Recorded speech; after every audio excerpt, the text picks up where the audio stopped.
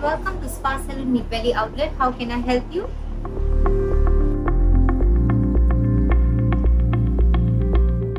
Hi, welcome to Spa Ceylon Luxury Ayurveda Mid Valley Outlet. I'm Ronnie here.